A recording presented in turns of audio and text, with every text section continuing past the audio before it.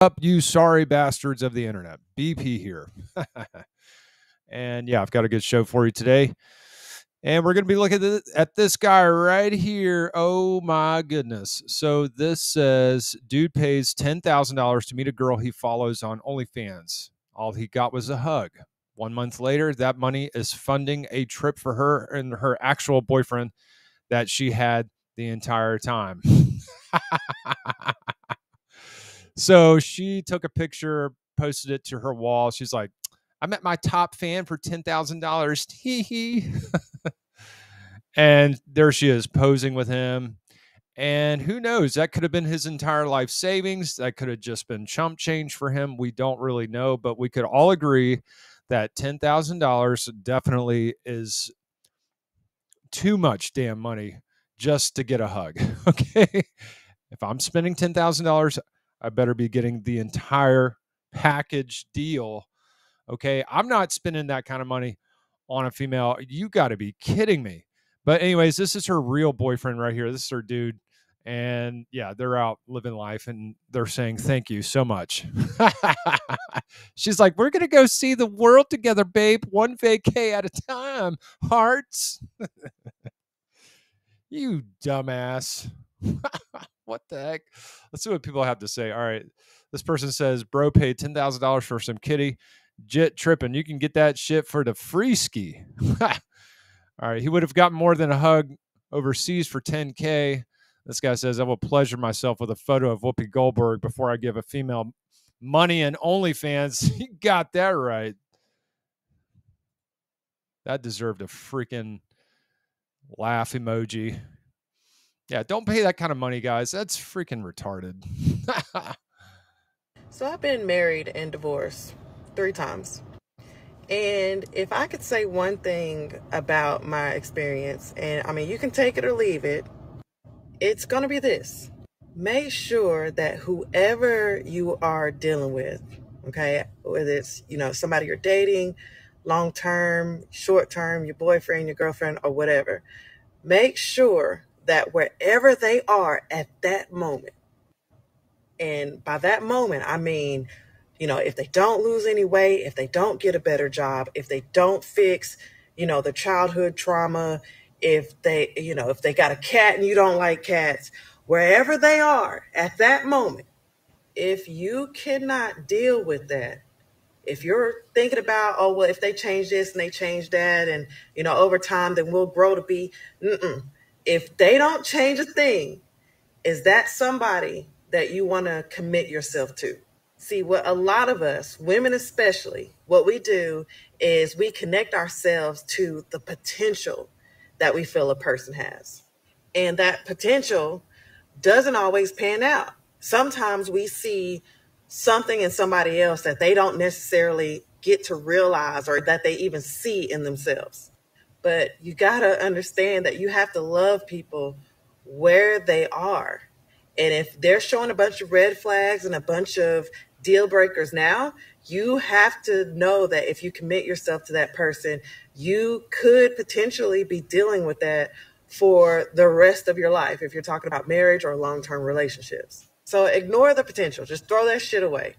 Go ahead and take a look at where that person is right now. If that's somebody that you could see yourself with long term until you leave this planet, then you commit to that person. But do not, do not, do not commit to somebody's potential because that that's that's not something that exists. It doesn't exist. So I've been married. Oh my goodness. Gentlemen, as you can see here, women are giving each other the absolute worst advice to each other. they they think, "Oh, you know, if he leaves his socks on the floor, if he leaves the toilet seat up, if he doesn't listen to you when you nag at him and all this other bullshit, then you need to leave him, girl." and it's like are you are you crazy? Right? Like do, do you not understand what you're telling people? You're telling people to leave based on your feelings. Like forget yeah forget about forget about your vows forget about in sickness and in health and to until death do us part and like honoring those vows and honoring your family and No, it's just if you feel bad, if you have a bad day, if he won't get a better job and all this other bullshit, yeah, yeah, girl, you leave. Yeah, don't settle. And it's like, dude, I don't think women really truly understand the concept that this is what they go for. Okay. They, I'm going to show you exactly what they go for. All right. People like this. All handsome, got money, got power. Okay. Influence. Yeah, looks nice.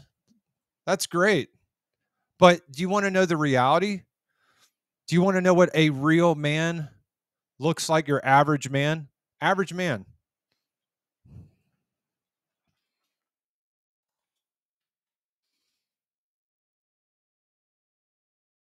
This is what he looks like making 40K a year. That's it. He's not going to get a better job. He's not going to get a promotion. He's just going to continue day after day after day, making that money, bringing home the bacon, making love to his wife, and raising his kids. But that's not good enough. Oh, no, that's not good enough because they want more. They want more than just the simple life. They got to have the fast cars. They got to have the private jets. They got to have bragging rights. See, women women have all of these expectations and they have all of these requirements, but what do they bring to the table? What do they have that we need as men? How about some love and support? How about just being there when we need you the most. Okay. Because men aren't the ones leaving their wives and their marriages, women are. They're leaving in droves. What are men doing? They're staying home. They're doing exactly what this guy's doing right here just working, working, making money, cracking jokes with his buddies at work, going to church on Sundays, being responsible. Okay. Ladies, you can expect that the average man will likely work on a forklift driving for Sam's Club for the rest of his life until he's dead. Okay? That is how men are. Not not that other stuff. Not that rich and powerful stuff. Okay? You want that? You're you're you're setting yourself up for failure. Okay? Most men do not make the kind of money that you would like 500,000 a million dollars a year. It doesn't happen. All right? And if you're not okay with average if you're not okay with a simple life well then maybe you need to be single.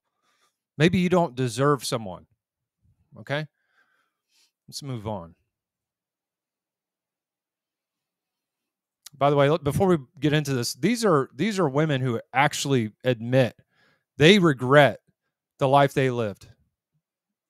So we hear a lot of women being told not to settle. I would definitely tell the men do not settle. Um, i, I want to apologize for believing this lie that i can have it all that i don't need a man that children are a burden that my career is more important than anything that my bank account um, can replace a person being a husband for me. I'm so sorry that I was this feminist that media, movies, songs, uh, influencers were convincing me that I can do everything by myself and that being feminine and vulnerable was the wrong thing to do.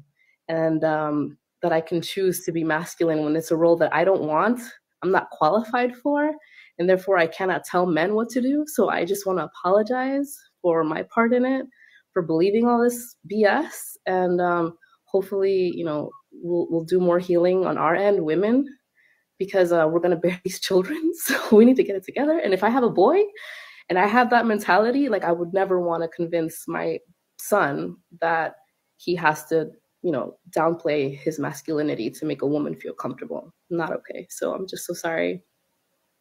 Yeah. Um, I know that just from everything that I see, it just seems so discouraging right now to be a man and to have like accusations just flung at you um, in every direction in the media. But I feel like there are a lot of us women that are starting to wake up to this and we're starting to see through the lies of the media.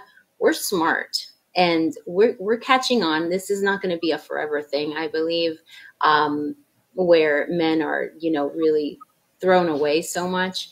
Um, so there are a lot of women who are starting to understand what's going on, and we're leaving this feminist movement, me included.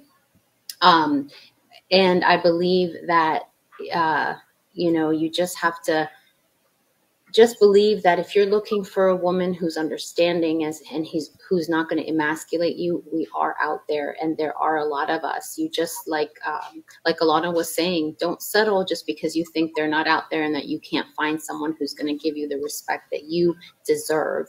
Um, yeah so we fellas remember this women are single by choice men are single by circumstance Nobody gives a shit about you but your mother and God.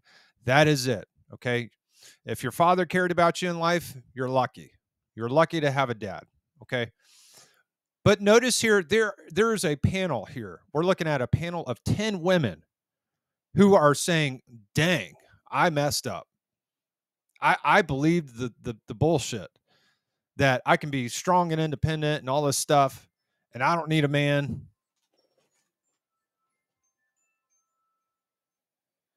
and it was a it was a lie.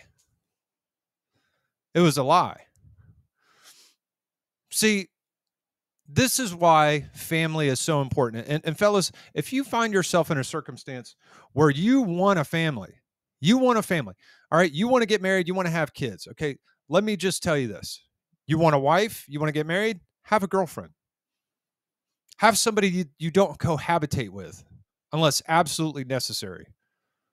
Do not live with a woman. Okay. You want a wife? You, you want to get married? Have a girlfriend. If she's it, it, most, a lot of women are going to be okay with with put being put in the relationship zone. Okay, and you could typically replace them if they want more. So there's no shortage of women in the world. There'll be another one in five minutes. Okay, so if you want a wife, get her a ring and say we're married. You don't need to cohabitate. You don't need legal documentation. If you want children, you should probably adopt. There's lots of fatherless children out here in this world, a lot of orphan children who need single fathers. Single fathers are getting approved for adoption all over this country. Thousands of men. Thousands of men are getting approved for adoption. There is no reason why you should be alone in life as a guy. But I understand it's not always your fault. It's not always the man's fault because guess what? Like I said, women are single by choice. Men are men are single by circumstance. It's not always our choice that we're single. And even God said it's not good that the man should be alone. So you need each other, essentially.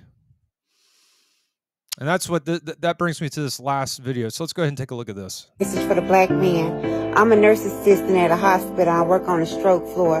And I can't help but notice there's a lot of black men up there, nice looking, good job having, all kind of stuff, good looking men. And a lot of them have a stroke and can't move their left or right side and end up, I ask them, where's your wife? You know, and all, most of them say, hey, I was a player, you know, I didn't never you know, want to get locked down to anybody, you know, and and they're sitting up there in their forties, even got no wife. They depending on a stranger to wipe their ass and get them up in the chair, and then they're gonna go to a nursing home. Don't have nobody to take care of them, come mm-hmm. visit them or nothing. What I'm saying is, black men need to wise up. You got a woman that love you, that's loyal to you, that take care of you, that got your back. Marry that woman. Hey everyone, I got a message all right. I don't think this is exclusively for black men. This is for every man. If you're a player, if you're the type of guy that gets women, you need someone that's got your back. You need someone, all right, that's going to take you to doctor's appointments, that's going to help clean the house, that's going to play the role of a wife. Okay. And that's not always easy to get.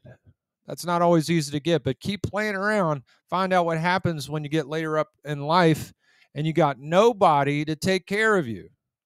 You burned all your bridges. You've you've screwed people over. Now nobody wants to deal with you. Don't let that be you. Do not burn your bridges. You know what that means when you burn a bridge? That means you can't get back over to where you needed to go originally. It means you can't get back to your place of origin. You're stuck in a place that you don't want to be. Don't be that guy. Be the guy that's dependable. Be the guy that that has a good woman in his in his corner. And that's not always easy. But we want to go for the fine woman, the good-looking woman. All right, versus the woman that that actually has some value to her, someone that actually brings something to the table, somebody that's more than just a piece of ass. You can get a piece of ass anywhere. You want to see where you can get a piece of ass? Watch this. You can go here and get ass all day 50 bucks, 100 bucks. But that's not going to make you happy. That's that's not what it's all about. These women you pay them to leave, not to give you some. You pay them to leave because they're a freaking headache. They come with problems. But this is the woman you need to be going for. This type of woman. Somebody that loves you. Anyways, that's all I have for today, guys. Hope you enjoyed this this video. Let me know what you think down in the comments below. Take care.